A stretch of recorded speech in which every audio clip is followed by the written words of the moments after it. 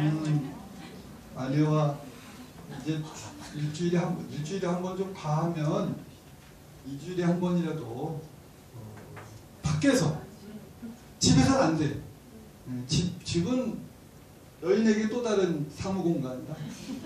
집은 안 돼. 바깥에. 좀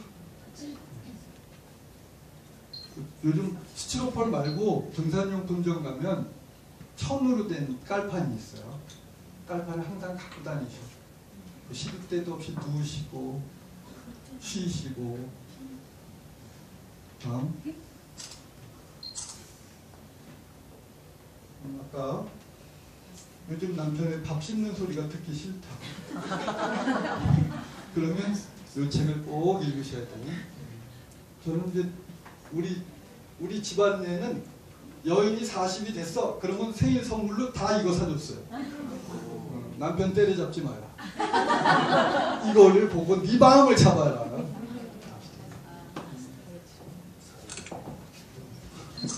다음 여기 얘 귀여운 새끼를 키우는데 교사와 학부모라는 두 바퀴만 가지고는 불안해.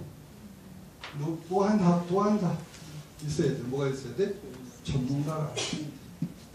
선생님도 그때 우리 신경정신과 저기 정신증진센터 오셨지만 전문가들 집단을 잘 활용해야 돼. 그리고 좀 힘드시다. 아, 이 직장이 자꾸 점점 힘들어져. 이럴 때는 저에게 용한 의사 리스트가 있어요. 네, 네, 제가 아, 지금 밝힐 수는 없고 저한테 문자 주시면 제가 리스트를 보내드릴 수 있어요. 서울 근교, 서울하고 서울 근교 전국까지는 제가 커버하라.